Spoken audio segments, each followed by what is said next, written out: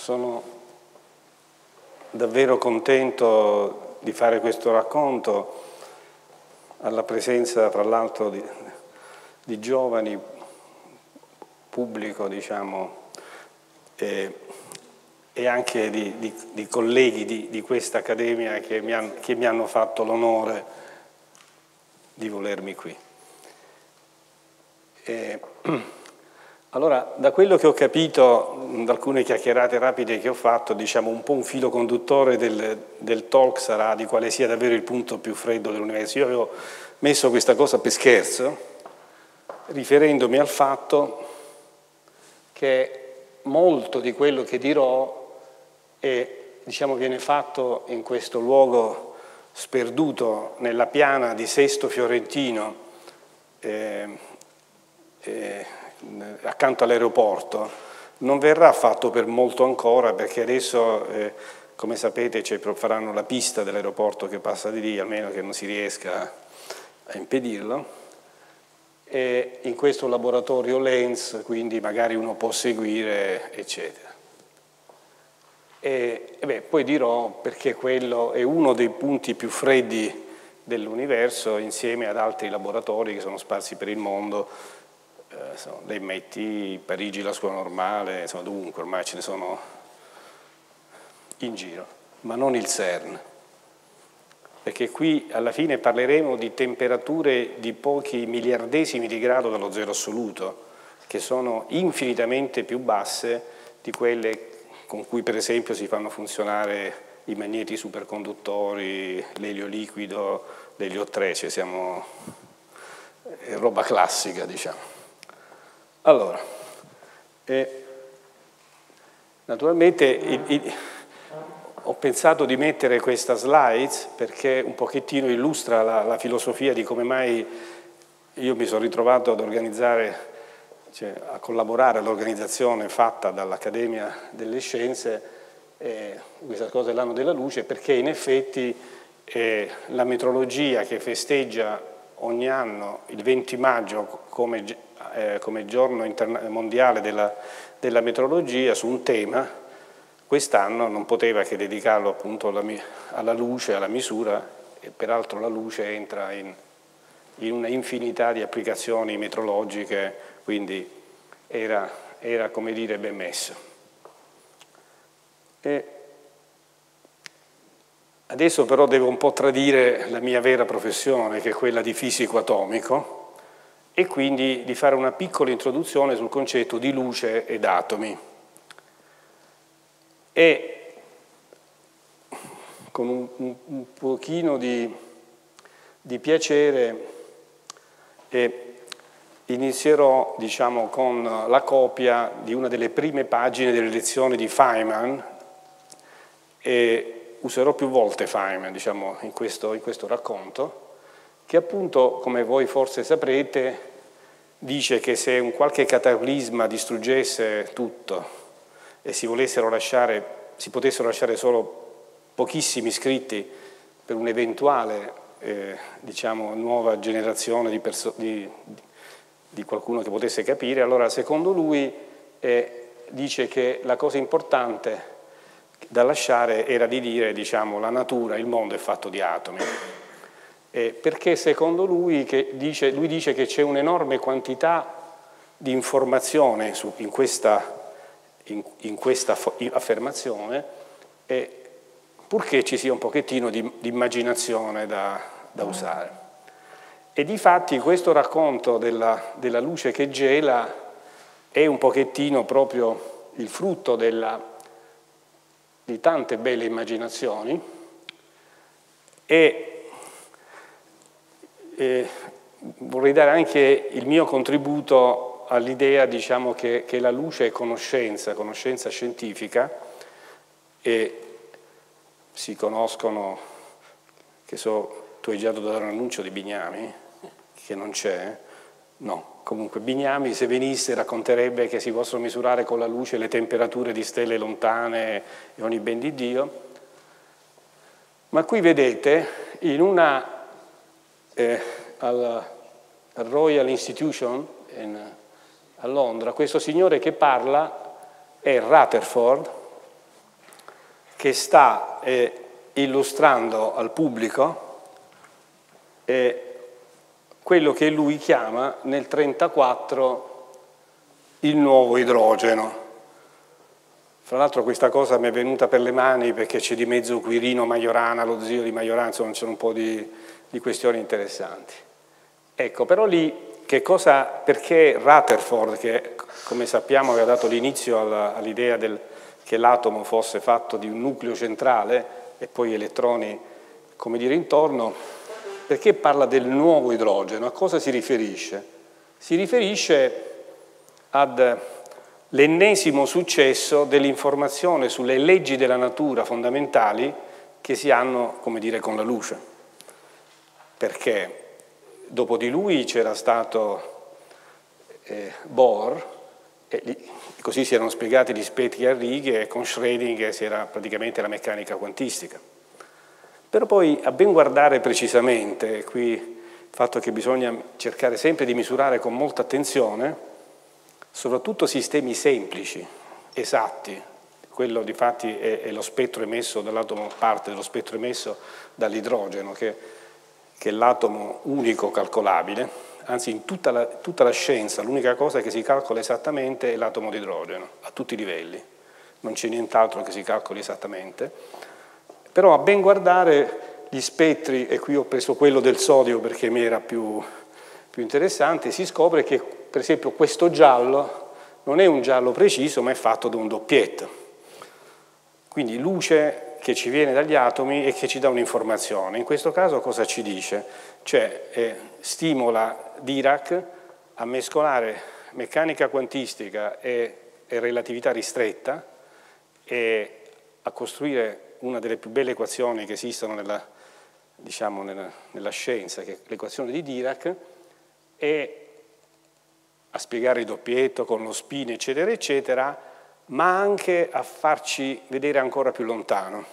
cioè prevedere per esempio l'esistenza di un'antimateria insieme, come dire, alla materia. Quindi tutte queste cose scaturiscono solo dall'aver cercato di capire il, il perché, come dire, di, un,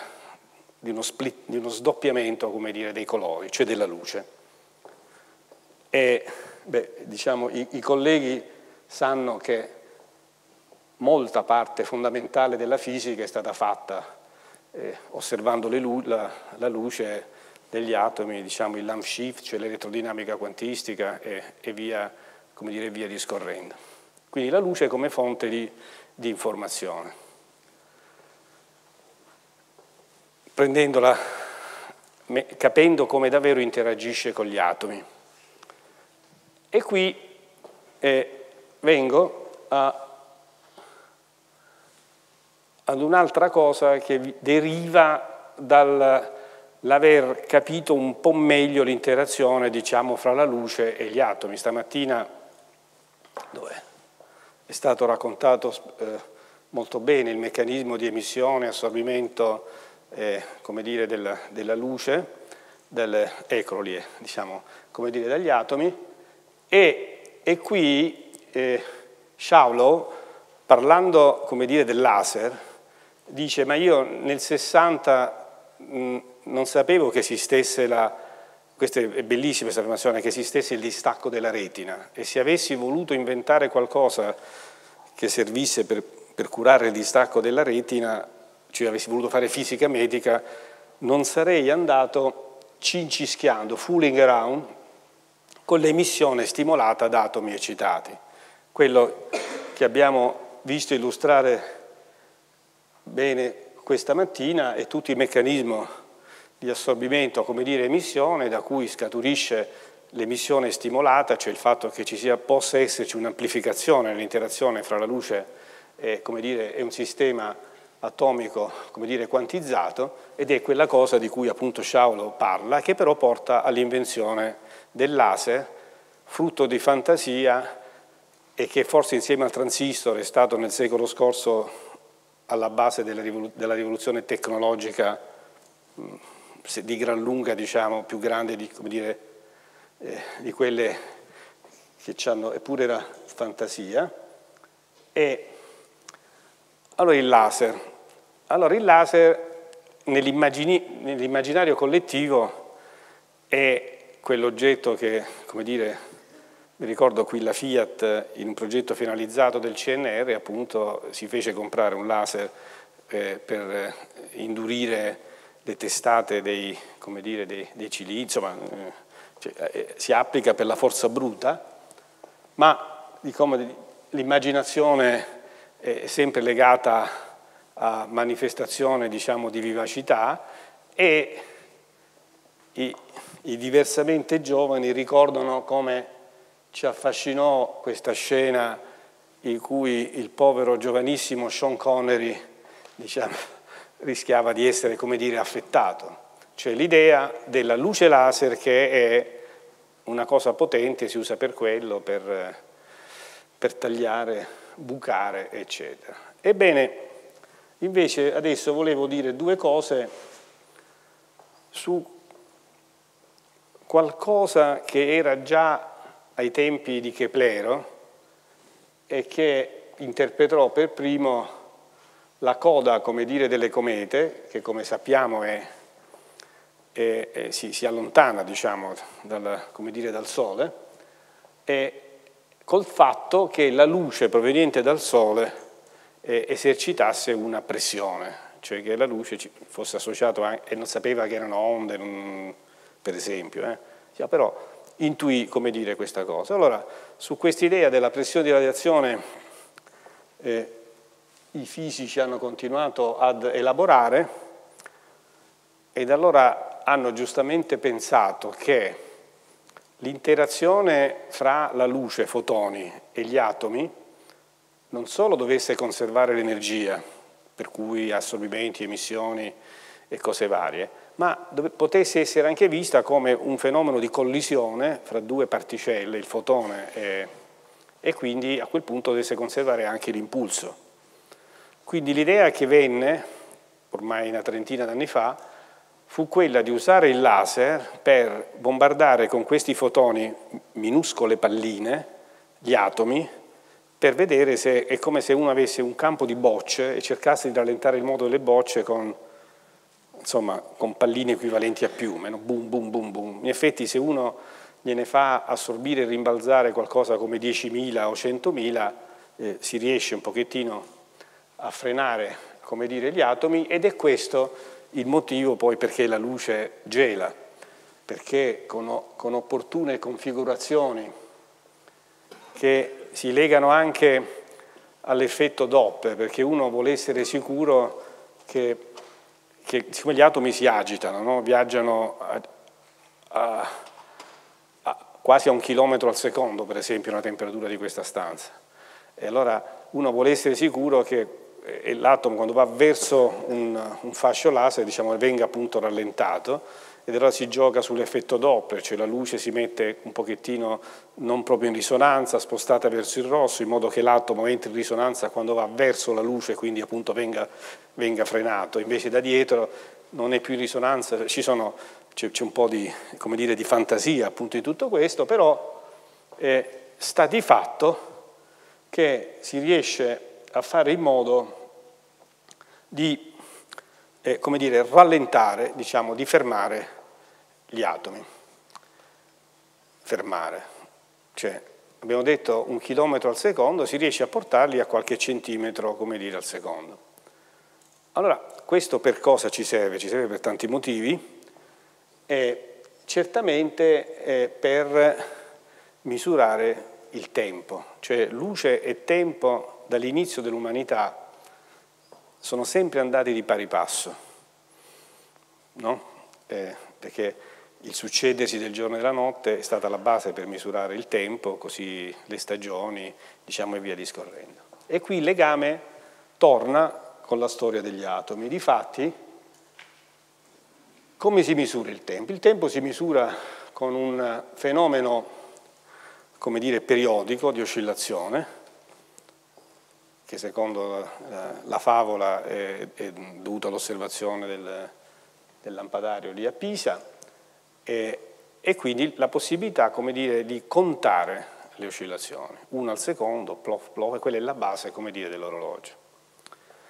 Naturalmente quella è una base molto bella, ma eh, la precisione è legata al numero di oscillazioni che ho in un secondo. Cioè se io ho poche oscillazioni in un secondo, se sbaglio di una sto sbagliando di molto. Ma se invece di avere il pendolo meccanico vado, che so, all'orologio al quarzo, a un quarzo che oscilla per effetto piezoelettrico, le oscillazioni diventano decine di migliaia, quindi sono, sono, di più, quindi io potenzialmente posso fare, ho un oscillatore che può essere alla base di un orologio, come dire, più preciso. E da un certo punto si riarriva agli atomi di cui parlavamo prima. Cioè l'atomo, questo è, lo schema de, dell'atomo di cesio, esattamente 60 anni fa i metrologi inglesi eh, introducevano l'orologio atomico, perché qui, come dire, ho due stati separati in una struttura che chiamiamo iperfine, e per cui le oscillazioni sono di 10 miliardi di, di volte, come dire, in un secondo. Mi viene a mente di dire che io ho iniziato la mia carriera qui a Torino con una borsa, appena laureato, e lì la rivoluzione era che c'era una mezza idea di fare un orologio che invece di usare il cesio usasse il tallio, perché la separazione lì era, non mi ricordo, 24 o 29 gigas, comunque era praticamente tre volte di più di quella, cioè l'idea era di andare verso frequenze più alte, quindi è strano, eh? la storia diciamo continua, però qui veniamo a quanto avevo detto io prima, questi atomi si agitano, si muovono, quindi io posso anche avere l'oscillatore che oscilla molto di più e che quindi potenzialmente mi fa misurare il tempo con più precisione, ma eh, mi scappa, cioè io non ho il tempo di, di vederlo. No? Di... Ed ecco che il fatto che la luce possa servire a rallentare il moto di, degli atomi è cosa molto importante perché se io faccio una configurazione lungo i tre assi, eh, diciamo, eh, coordinati, in effetti riesco più o meno a, a, a impalloccare, come dire, gli atomi di cesio eh, con velocità dell'ordine dei centimetri al secondo. E di nuovo ispirati dalla, dal concetto di Fontana eh, che, che, è quella, che, quello che succede quando voi mandate che so, un sasso in alto, arriva in alto e poi come dire ridecade. Diciamo, i, i fisici, e qui Torino è stato fra i protagonisti al mondo, riescono a costruire un sistema perché si prendono questi atomi di cesio, con la luce si, si fregano, si, si, si, impacchettano se volete, poi gli si dà una botta da sotto, questi vanno in alto, uh, si fermano e poi ridecadono. Allora in quel momento in cui quasi si fermano, eh, diciamo, eh, che so, Levi e compagni che è qui, che è qui seduto, eh, riesce a misurare queste oscillazioni che dicevo di 10 miliardi di volte al secondo senza che gli atomi gli scappino. E, ed è questa la cosa pratica. Naturalmente questa è quella che invece è in Colorado, è vero che è in Colorado quella, sì, è naturalmente molto più spettacolare perché sembra la rampa di... però ce ne sono di queste ormai, non so, una decina in giro in punti strategici del mondo, ed è questo che dà il tempo. Quindi qui la luce entra perché dà lo strumento per fermare gli atomi, interrogarli e via discorrendo, anche se poi l'interrogazione avviene alle microonde, a parte che per, per la fisica microonde o, o visibili è la stessa cosa, perché è sempre l'equazione di Maxwell, però diciamo non è propriamente luce visibile. E questo qui, come dicevamo, ci dà tutti questi qui in giro, cioè, si, si, controlla il tempo, il tempo universale su cui ci troviamo d'accordo e tutto il mondo quindi ha questo famoso tempo. E così abbiamo risolto il dramma di un illustre tedesco eh, che ha quasi mostrato, anzi ha mostrato stamattina Adriano Zecchina perché è quello di Goethe, sempre qui ripreso da Varol, ora capisci perché dovevo andare a... Eh, perché Goethe, è, siccome era tedesco appunto, lui appena arrivò in Italia, è arrivato solo a Verona, nemmeno quindi proprio Italia, insomma, sì, insomma è abbastanza Italia già, però insomma, visto da me che, che vengo da Lecce, Lubido rimase sconvolto, perché scoprì che gli italiani misuravano il tempo in una maniera anomala, strana, irregolare. E soprattutto lui era turbato dall'idea che, che, lo misurassero 12, dividendo 12 più 12 invece che 24, poi partivano da cose diverse, insomma c'erano tutti eh, vari problemi e però da bravo tedesco, eh, ancora non c'erano stati il tempo su cui tutti si trovano d'accordo, se voi andate alle prime 30 o 40 pagine del suo diario scoprite che lui dice questa stranezza di questi italiani e appunto, ripeto, da persona precisa subito fornisce il, il disegno con la conversione del tempo eh, eh, nostro, diciamo, ma poveretto era di quello di Verona,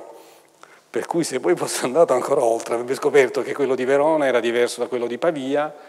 oppure da quello di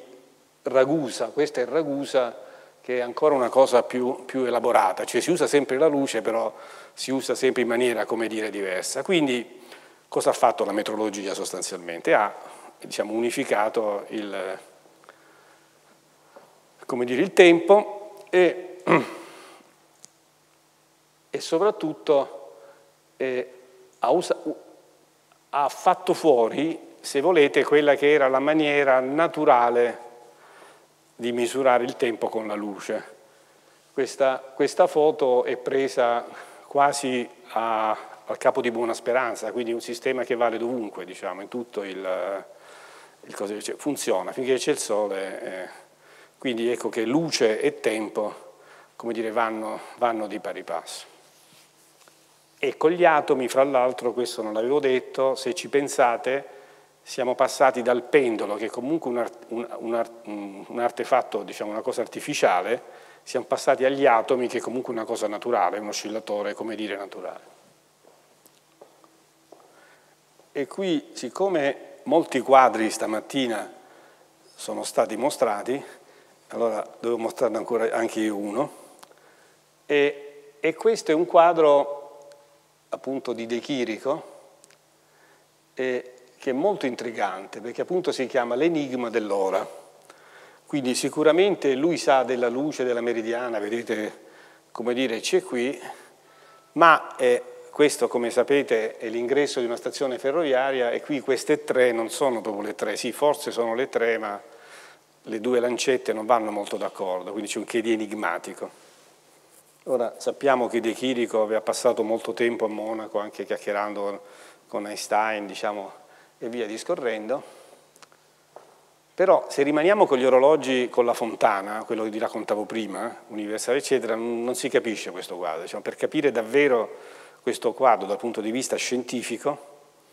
eh, bisogna andare un pochettino oltre, sempre utilizzando la luce che gela. Perché negli atomi ci sono transizioni fra livelli che sono appunto separati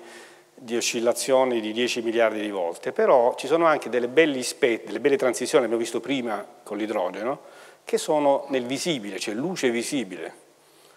che sono oscillazioni che avvengono un milione di miliardi di volte, quindi potenzialmente possono andare a precisioni ancora più elevate.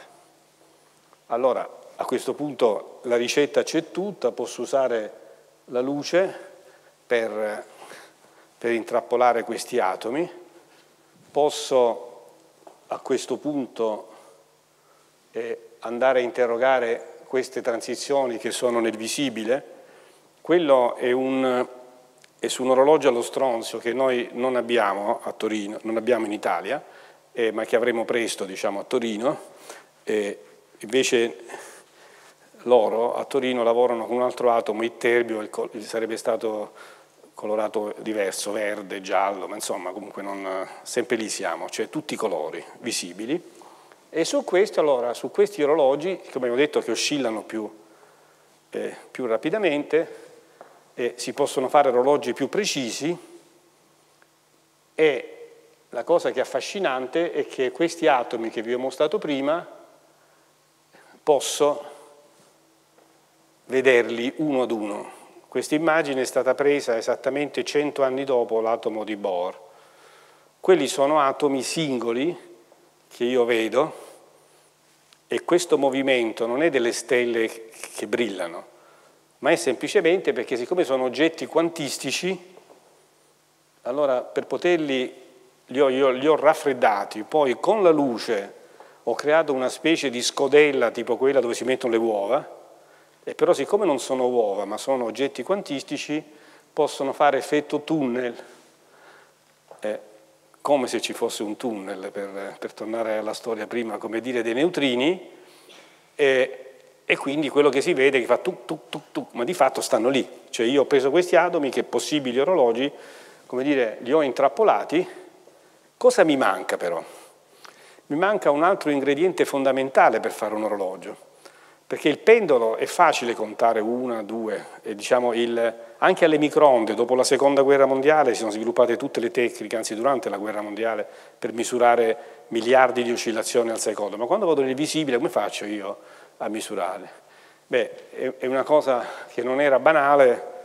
qui c'è riuscito, eh, cioè ecco, come si fa a fare l'ingranaggio, questa è la copia di, del disegno che abbiamo al Museo Galilei a Firenze, di come si, si si, si passa dal pendolo alla, al meccanismo per, per, misurare il tempo, allora lì l'oggetto è un, un dispositivo fatto sempre con la luce in cui voi vedete quello che sembra un arcobaleno che tante volte abbiamo visto oggi, ma in effetti per alcune finezze è un arcobaleno fatto di tanti dentini, tutti equidistanziati, quindi quel verde viene spezzettato in tante, quindi uno può misurare a questo punto le oscillazioni dire, della luce. Si chiama pettine di frequenze. Abbiamo tutto, quindi possiamo fare gli orologi e arriviamo ad accuratezze di miliardesimi di miliardesimi di secondo. E voi direte, boh, questa è sempre la critica che viene fatta diciamo, a chi va, si spinge eh, troppo in là. Beh, eh, boh, vi dico io cosa significa. Intanto significa che ci sono delle teorie fondamentali della fisica che prevedono che il tempo e la gravità non siano eh, indipendenti. E ho saputo oggi a colazione che questa accademia, anche lei, celebrerà i cent'anni dell'introduzione della relatività generale di, dire, di Einstein. Allora è noto che la previsione della teoria era che la gravità eh, eserciti un freno, diciamo, allo scorrere del tempo. E allora un illustre membro di questa accademia, Sigfrido Leschiutta, si prese l'orologio al Cesio, che era appunto a Torino, lo portò al Plateau Rosà per andare molto in alto e fu fra i primi al mondo, negli anni 70, a dimostrare che davvero c'era un'evidenza della dello shift eh, come dire, gravitazionale e dovete andare qui da, da Corso Massimo d'Azeglio eh, fino al, fino al Plateau Rosà. Adesso con quegli orologi che sono al miliardesimo di miliardesimo di secondo sono talmente precisi che basta sollevare il tavolo di una ventina di centimetri e si vede che il tempo cambia. Quindi si ha la relatività generale. Allora, questa è un'accademia, quindi abbiamo i colleghi geologi. E vedi i colleghi geologi che vogliono fare la, la geo, geofisica, uno subito dice che allora sotto le Alpi, nella, nel Frejus, c'è quasi in funzione uno di questi orologi, che di nuovo con una fibra che corre lungo l'autostrada Torino-Bardonecchia, eh, viene collegato con la luce a quello che c'è eh, in strada delle cacce, che poi è questo, ed allora uno può seguire, si sa già che il tempo è più veloce, però può seguire il cambio della, della gravità perché siccome il, il tempo dipende dalla gravità, allora io con la luce, misurando il tempo, di fatto misuro le variazioni locali della gravità, quindi nel succedersi delle stagioni, movimenti come dire, tettonici, falde e robe di questo tipo. Cioè che cosa sta succedendo grazie alla luce che gela e che ci fa fare questi orologi precisi? Di fatto si scopre che anche la relatività generale, che è una, è una teoria fantastica che nasce peraltro dalla, in qualche maniera da basi legate alla fantasia di Riemann, di questi che hanno fatto le geometrie insomma, eh, un po' sofisticate, quindi è questa, quindi astratta, eh, uno dice, boh, ma che la stai facendo a fare? Ebbene, anche la realtà generale, anche quella matematica, cent'anni dopo, diventa una scienza applicata. Quindi ormai parte, è partita già, una scienza di geodesia, come dire, relativistica.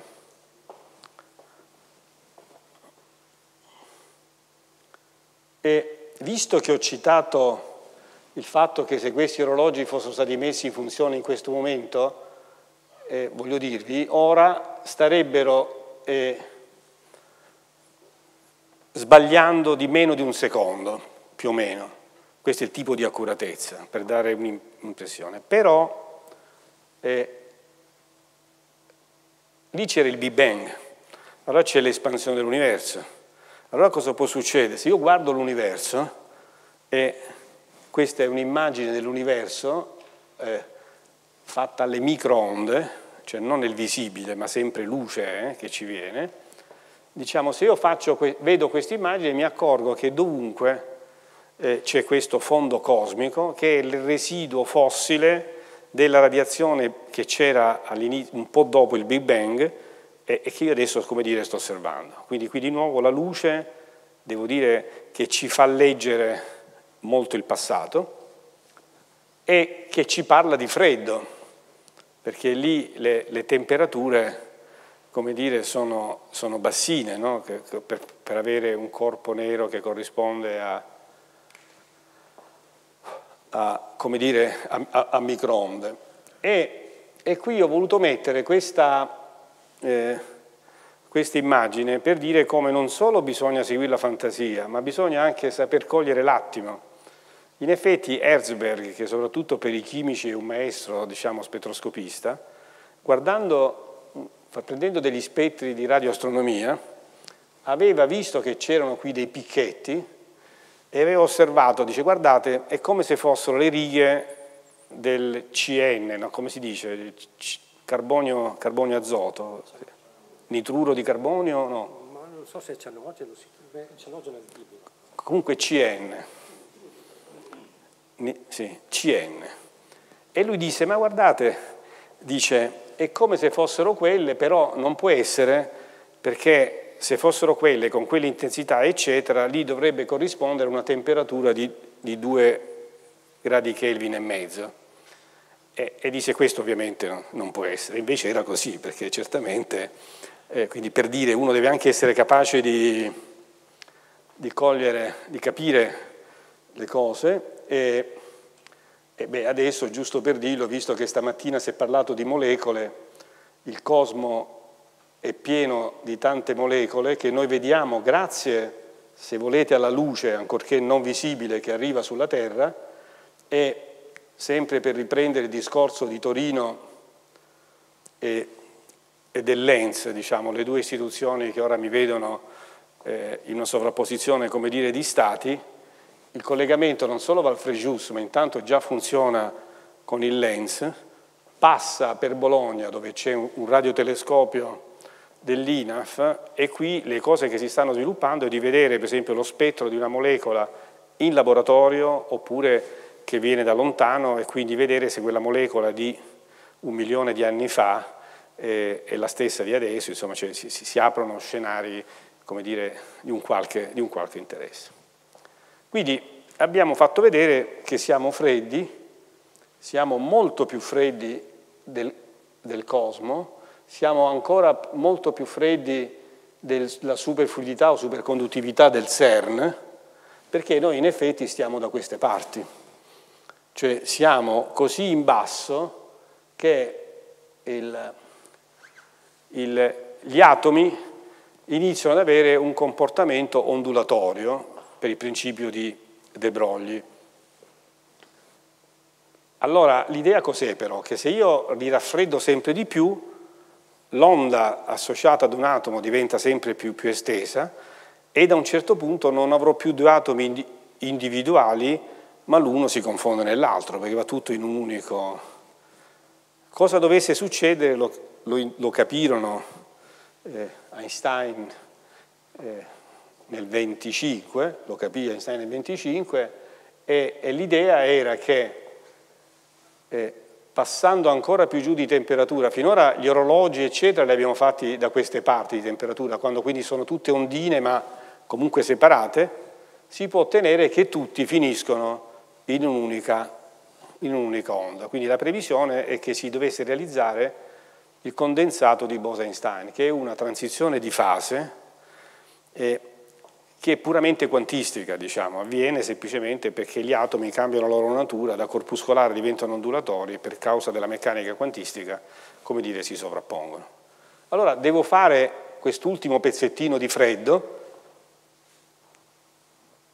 non è stato banale farlo, ma di fatto si fa facendo evaporare gli atomi più caldi, Quella, quel contenitore che vedete è fatto a sua volta di luce, cioè gli atomi raffreddati in questo modo li intrappoliamo ancora nella luce, facciamo evaporare, come dire, quelli più caldi, un po' li perdiamo ovviamente, anzi molti li perdiamo, però alla fine se va tutto bene,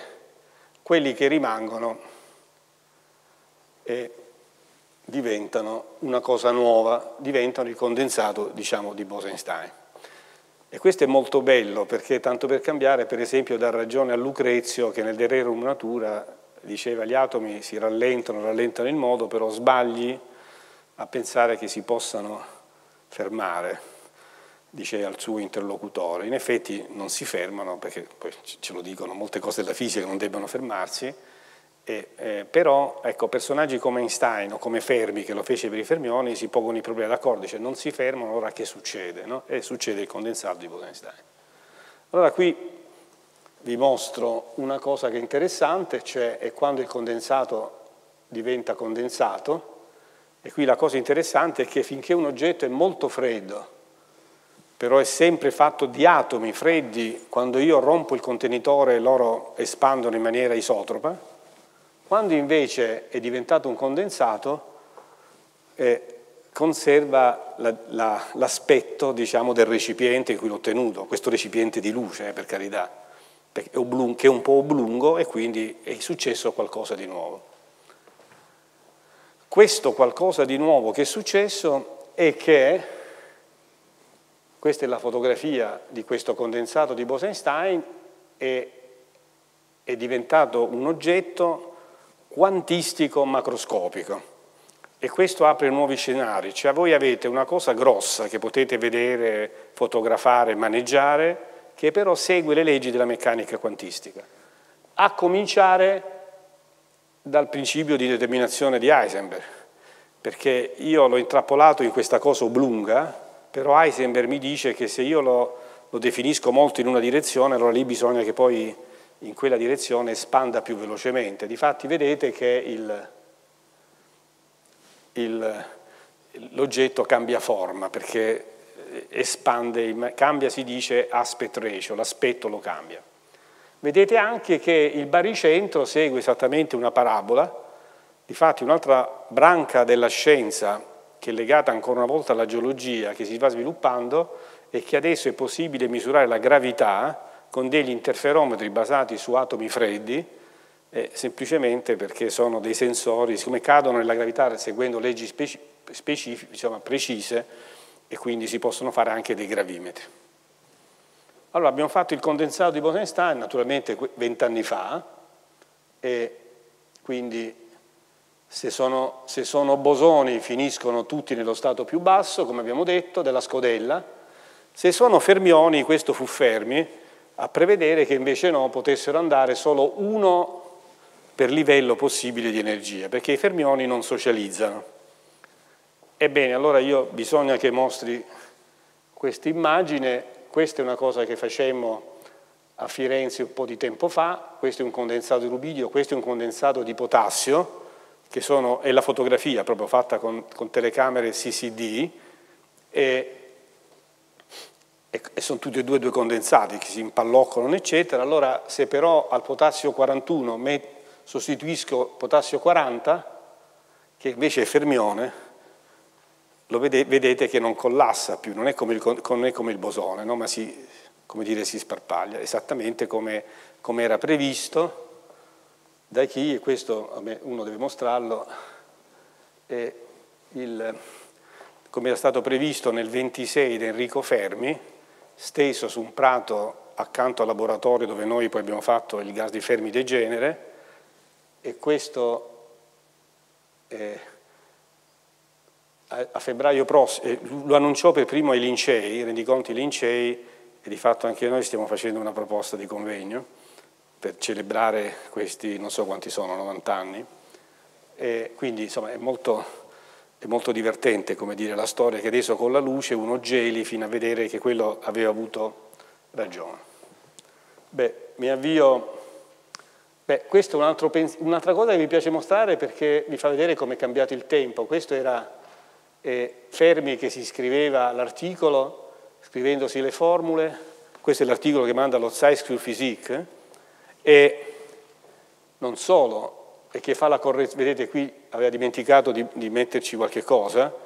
cioè un po' diverso come facciamo adesso, vero? Che noi se manca una virgola, tum, stampante laser, brrr. comunque questo fa parte della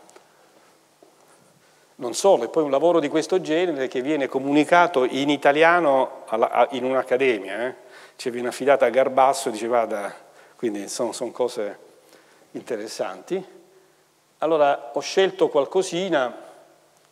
visto che il condensato è bello, allora il condensato è come avere tutti gli atomi in uno stesso stato, un po' come il laser, quindi quel fascio che vedete non è un fascio laser, ma è un fascio di atomi, come dire, coerenti, e, e, poi ho preso un po' di figure immaginando quello che avevo visto stamattina. E io con la luce a questo punto posso, mettere, posso guidare questi atomi, per esempio posso metterli in una struttura periodica, che è quella tipica dei cristalli, quindi posso mettere un atomo qui, un atomo qui, un atomo qui, un atomo lì, come per la verità vi ho mostrato prima per gli orologi, è la stessa cosa.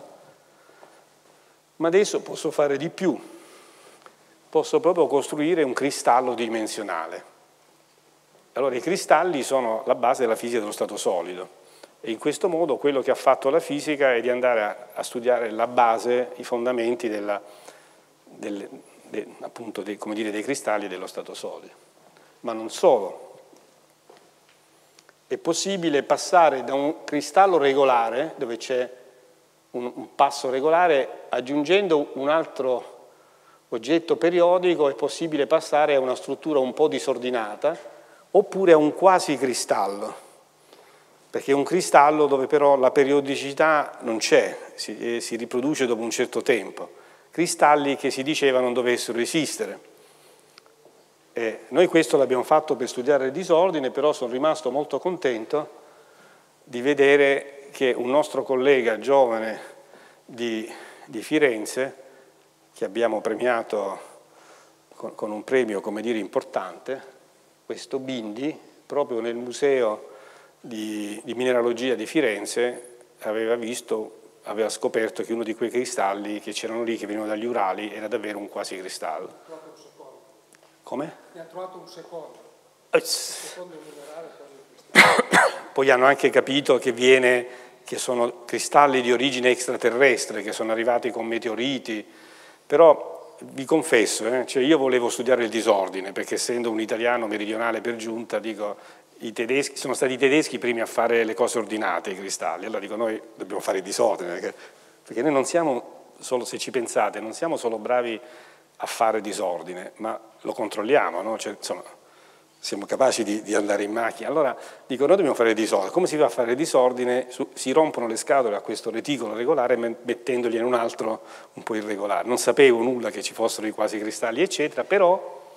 eh, ebbi a scoprire allora, scoprimmo, che c'era c'era una bella coppia di matematici fisici, fisici matematici che avevano fatto il modello eh, di, di un oggetto in un sistema quasi periodico e quindi c'è una miltoniana e quindi davamo ragione a, a Feynman, è la seconda volta che compare, che nell'82, come saprete, scrisse un articolo fondamentale che è alla base del calcolo quantistico, perché prevede che si possa fare un calcolatore quantistico, e anche il simulatore quantistico, cioè siccome non si possono fare i conti, conviene cercare di inventare qualche cosa che simuli gli hamiltoniani, e questo ormai sta avvenendo, ormai si parla di quantum, ingegneria, ingegneria quantistica, avendo gelato la luce. Ma quella cosa disordinata ha delle applicazioni, ormai si fanno celle solari eh, disordinate, per cui invece di pensare all'efficienza del materiale, eh, si mette questo materiale in modo disordinato in modo che la luce del sole arrivando venga, venga intrappolata un pochettino, un pochettino di più, eh, usando il disordine. Però, siccome quello aveva previsto il calcolatore quantistico, allora noi, uno dei sogni diciamo, che ha questo tipo di fisica degli atomi ultrafreddi, raffreddatissimi dalla luce, è quella di usare le loro transizioni fra livelli, che sono delle transizioni evidentemente quantistiche, c'è la storia che